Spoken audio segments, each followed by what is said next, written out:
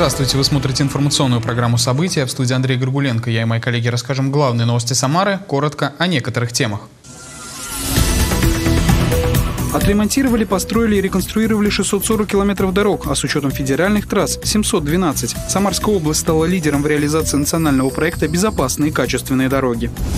Наградили лидеров в сфере туризма. В областной столице состоялось вручение премии «Самарское гостеприимство».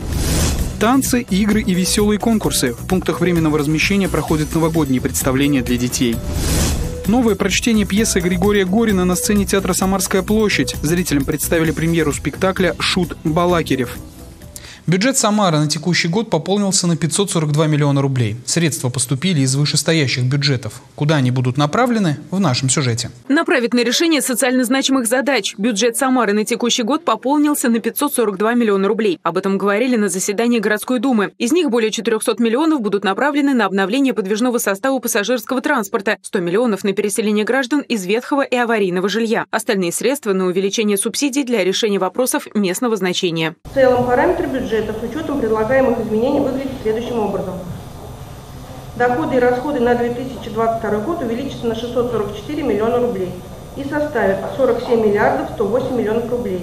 Кроме того, часть бюджетных средств перераспределили. 9 миллионов были направлены на выполнение аварийно-восстановительных работ подводящей тепловой сети для котельной на пересечении Грозненской и Стромиловского шоссе. 17 миллионов на восстановление подачи горячей воды в 25-м квартале Куйбышевского района. Помыслы наши чистые, добры вот, и направлены на улучшение социально-экономического положения нашего городского округа Самара и самарцев в целом. Параметры бюджета на 2023 год не изменятся и составят 34 миллиарда 935 миллионов рублей. На 2024 год 33 миллиарда 691 миллион рублей. Виктория Шара и Константин Головин. События.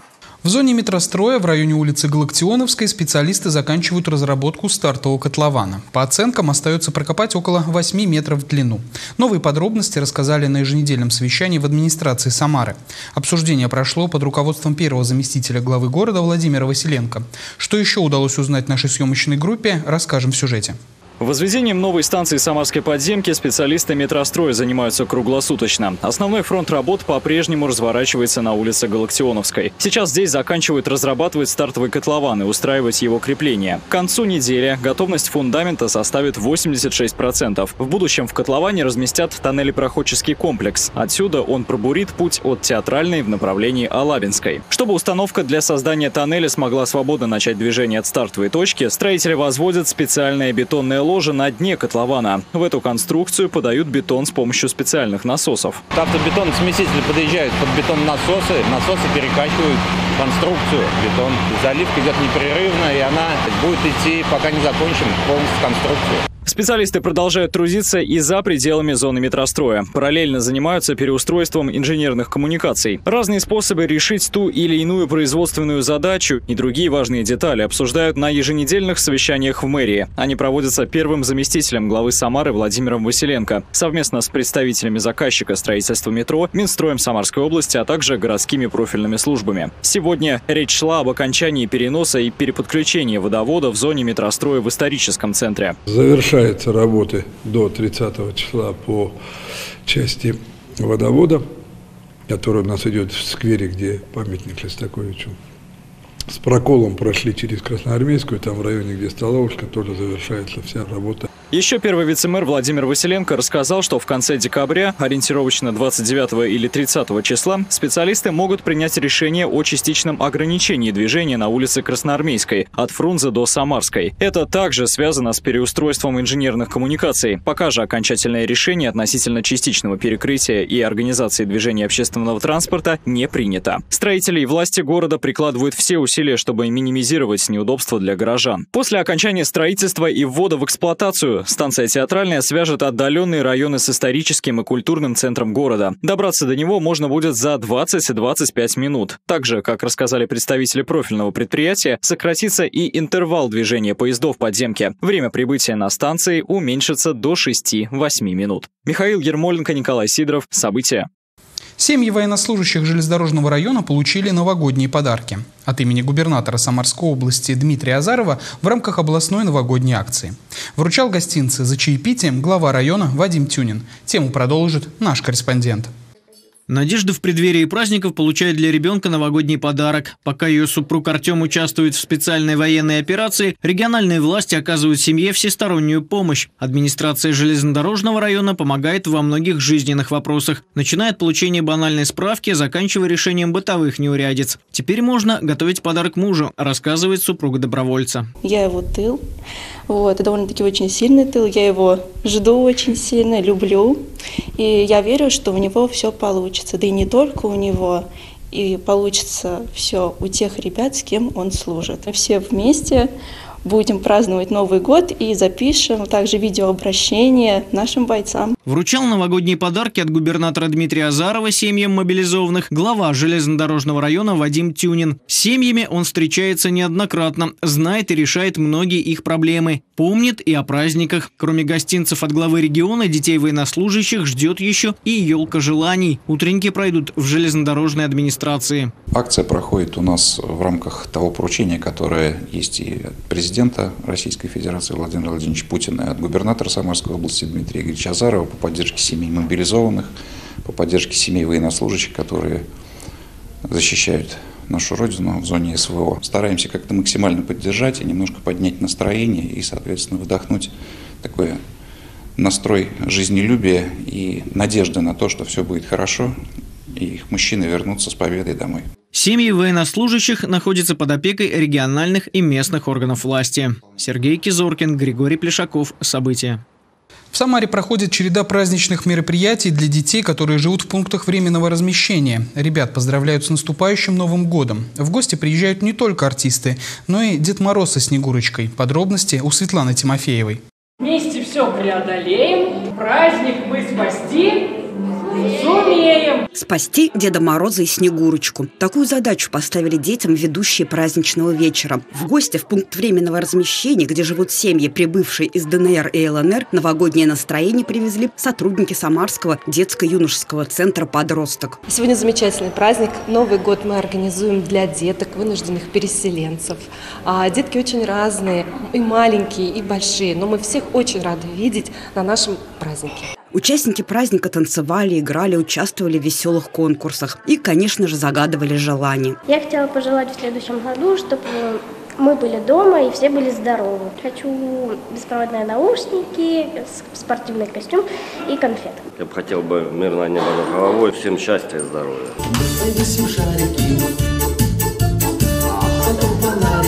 Праздник привезли и в пункт временного размещения Дубки. Ребята из детско-юношеского центра «Мечта» подарили детям спектакль, в котором рассказали о ценности дружбы. Мы постарались создать сказочную атмосферу в игровой комнате и подарить ребятам хорошее настроение праздничное. Все верят в чудеса. Для детей это особо важно. А дети, которые живут здесь, для них, наверное, чудо должно быть вдвойне. От Деда Мороза и Снегурочки каждый ребенок получил сладкие наборы. В этом году в Самаре установлено несколько елок желаний. Выбрать открытку может любой горожанин и лично вручить подарок. Снять открытку с новогоднего дерева можно в Департаменте опеки, попечительства и социальной поддержки по адресу Куйбышева, 44, в районных подразделениях комплексного центра обслуживания населения и в городской думе. Светлана Тимофеева, Максим Гусев, Николай Сидоров. События. Преддверии Нового года в военном госпитале Самары состоялся концерт заслуженного артиста России Валерия Семина. Он сыграл для военнослужащих известные мелодии и исполнил песни, многие из которых уже стали народными. Подробности далее. От чего, от мне так светло? От того, что ты идешь по в 426-м военном госпитале Центрального военного округа состоялся концерт заслуженного артиста России Валерия Семина. Он исполнил песни для военнослужащих, которые находятся на лечении после участия в специальной военной операции. Концерт известного баяниста и автора-исполнителя был организован Домом офицеров Самарского гарнизона. Необходима какая-то капелька тепла для ребят, чтобы они почувствовали заботу коллективы Дома офицеров, коллективы всей Самарской области, о том числе известные артисты, постоянно по нашей просьбе приезжают в госпиталь, а, выступают перед солдатами, перед военнослужащими, перед офицерами. И это позволяет быстрее залечивать раны. В самые трудные минуты нашей страны мы всегда обращаемся к нашим корням. А наши корни это в русском народе, в русских песнях, в русских мелодиях. Такие концерты уже стали традиционными. Перед защитниками Отечества выступают музыканты, актеры и даже артисты цирка. Они способствуют укреплению морального духа. Сергей Кизоркин, Светлана Кудрявцева. События. В Самаре установят противопожарный режим на Новый год. Он будет действовать с 23 декабря по 23 января. Постановление опубликовано на сайте администрации города. Запрещено зажигать в закрытых помещениях пиротехнические изделия, открытый огонь, дуговые прожекторы, световые устройства с применением химических и других веществ, способных вызвать возгорание. Также не разрешается украшать елки ватой или марлей. Сотрудники МЧС и полицейские проверят точки продажи пиротехники, чтобы выявить нарушителей, торгующих без разрешения. Далее коротко о других событиях дня. Госдума приняла в окончательном чтении законопроект, который должен защитить интересы нежелающих предоставлять свои отпечатки пальцев или образец голоса. До сих пор сбор и хранение биометрии в нашей стране не регулировались. Установлено, какие данные можно собирать, а какие нельзя, кто и как может это делать. Но самое главное, у владельцев данных появилось право самим решать, делиться ими или нет. На принуждение к сдаче биометрии введен запрет. Согласие на обработку биометрических данных можно отозвать в любой момент, как и удалить ту биометрию, которой гражданин уже успел поделиться. За несовершеннолетних детей это могут сделать родители или опекуны. Сбор геномных материалов запрещен. Депутаты приняли в третьем заключительном чтении законопроект об ужесточении госконтроля за выдачей оружия. Лицензию не выдадут, если проверка кандидата покажет наличие опасности нарушения прав и свобод граждан, угрозы государственной или общественной безопасности, связанной с причастностью россиянина к организованной преступной группировке, угроза, что гражданин использует оружие в противоправных целях. Такие проверки могут проводиться и в отношении владельцев оружия. Срок действия заключения составит два года. Госдума одобрила во втором чтении законопроект, регулирующий работу такси. В частности, документ устанавливает требования к водителю, а также к внешнему и внутреннему виду автомобиля. Вводится ряд ограничений при допуске к управлению легковыми такси. Водитель не сможет управлять машиной, если он имеет более трех штрафов за нарушение правил дорожного движения. Водителем такси может быть индивидуальный предприниматель, а также самозанятый, если у него есть разрешение и договор с агрегатором такси. Основные положения закона вступают в силу с сентября 2020 2023 года. В рамках нового проекта «АвтоВАЗ» рассчитывает во втором полугодии следующего года начать выпуск новых автомобилей под брендом «Лада» в северной столице. Предполагается поэтапная постановка на производство различных моделей сегментов C и D, включая кроссоверы и седаны. Все необходимое для сборки будет поставляться одним или несколькими партнерами из дружественных стран, переговоры с которыми находятся в завершающей стадии. На портале госуслуги «Решаем вместе» жителям Самары предлагают пройти опрос на тему спортивных увлечений. Анкетирование проводит Департамент физической культуры и спорта администрации Самары. Анкета является анонимной. Полученные результаты будут использованы в дальнейшей работе. Принять участие в опросе можно до 31 декабря текущего года. В Самаре наградили лидеров в сфере туризма. В ежегодной премии гостеприимства участвуют лучшие отели, санатории, предприятия питания и туроператоры города. С номинантами пообщалась наша съемочная группа. Отрасль туризма в Самаре активно развивается. Туристическая привлекательность в этом году побила все рекорды. Город увидели почти миллион гостей из разных уголков планеты. За три квартала текущего года уже совершенно точно мы приняли более 960 тысяч. Я думаю, что планку в миллион гостей наш город мы уже превысим. Безусловно, есть у нас э, вся инфраструктура туристической отрасли. Совместными усилиями, я думаю, что мы добьемся самых амбициозных планов. Представители Самарской гостинично-туристской ассоциации наградили предпринимателей в сфере гостеприимства. Организаторы премии отметили лучшие отели, санатории, гостиницы и рестораны. Победителям вручили благодарственные письма. В числе награжденных Любовь Злобина, директор одного из местных отелей. Признается, только благодаря слаженной командной работе можно добиться успеха. Ну и, конечно, есть секреты, которые помогают стать лучше. Наш отель открылся в 2018 году к чемпионату мира. Мы достаточно уже не молоды, но и юны в то же время. Мы встречаем гостей, проводим мероприятия, банкеты, конференции. Есть золотое правило гостеприимства – поставь себя на место гостя. Это основное, что помогает нам добиваться наших успехов. Премия направлена на повышение качества работы предприятий индустрии гостеприимства. Светлана Кудрявцева, Ксения Баканова, Николай Сидоров. События. В Новый год без долгов и с подарками. Компания «Энергосбыт Плюс» традиционно проводит новогодние акции для своих клиентов. Подробности расскажет Александра Гусева. Здравствуй, моя хорошая! С наступающим Новым годом тебя! Ты хорошо испекла? Хорошо. Пойдем подарки будешь.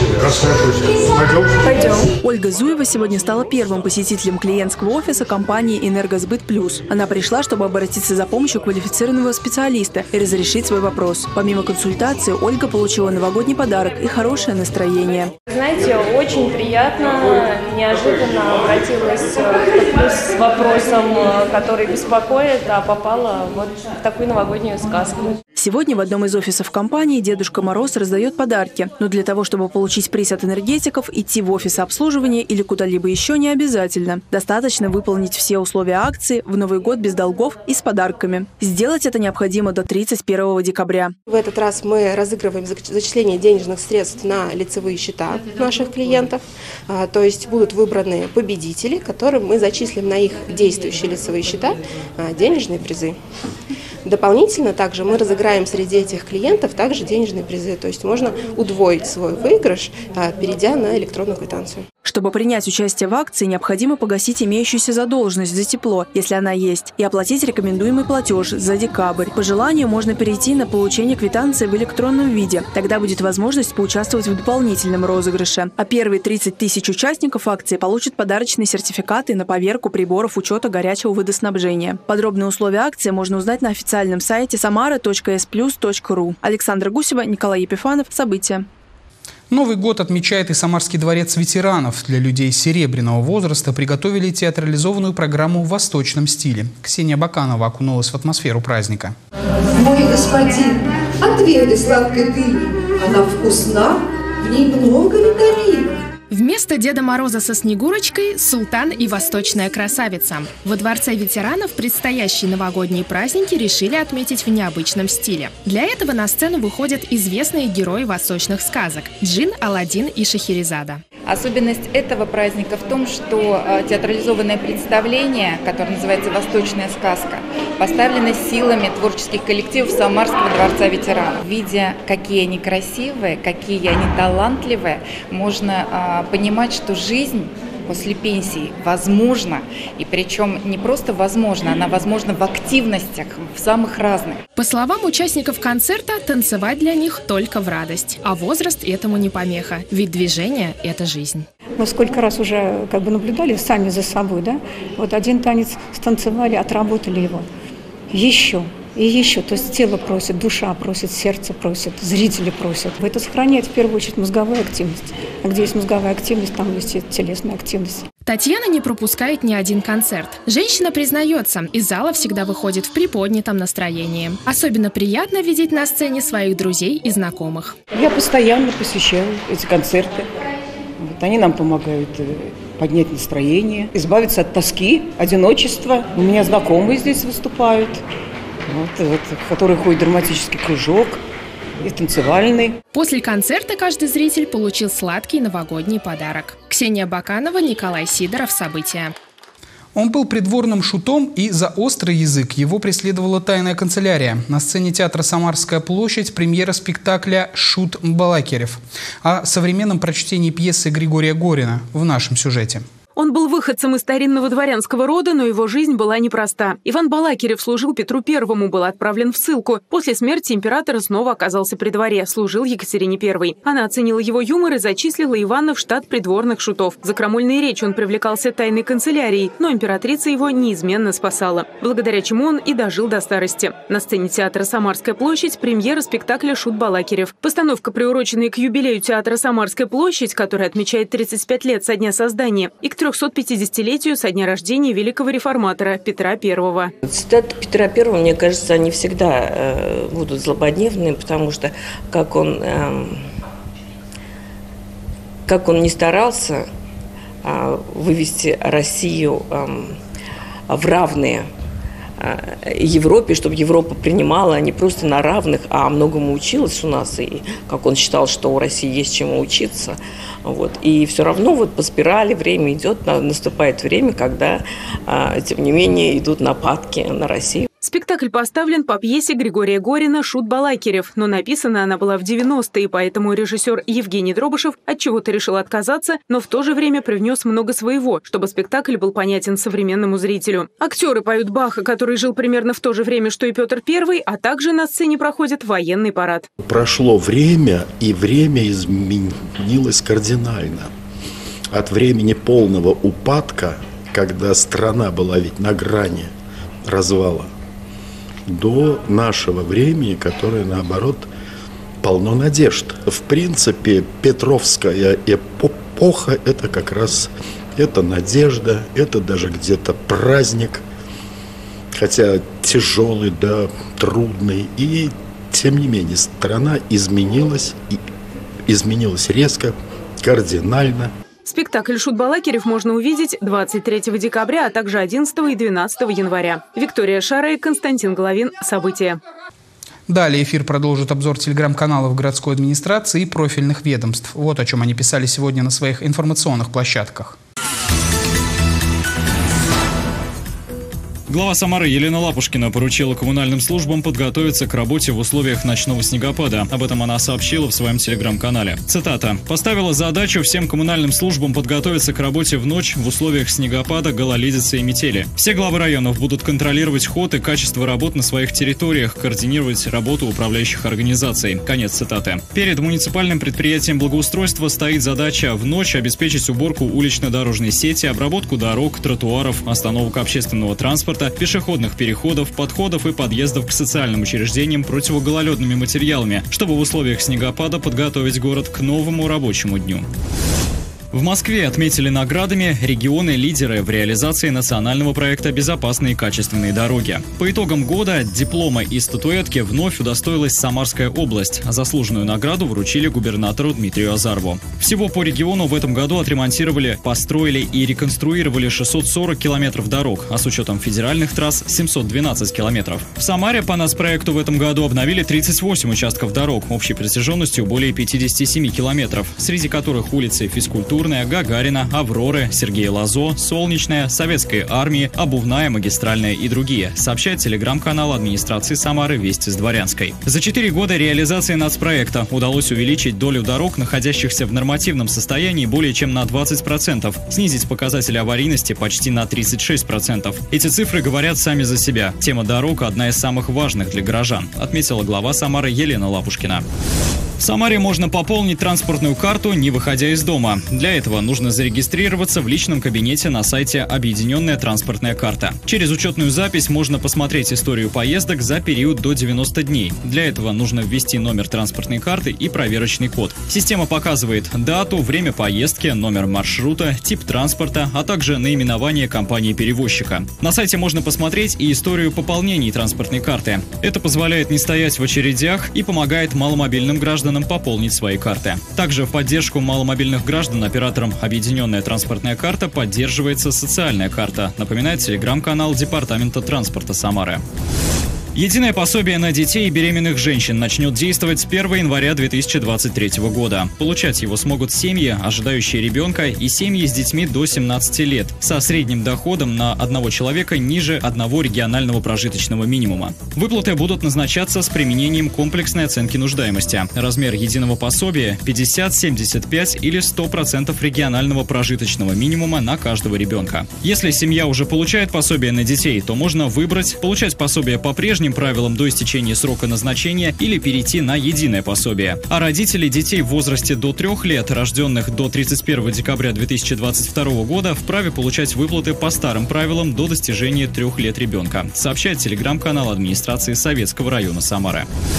Администрация Октябрьского района Самара приглашает жителей на рождественский бал, который состоится в это воскресенье в 16 часов по адресу улица Ленина, 14А. Принять участие может любой желающий вне зависимости от возраста. Продолжительность мероприятия около трех с половиной часов. Бал-карнавал пройдет в традициях 19-20 веков. На этом выпуск завершен. Всего доброго. Увидимся.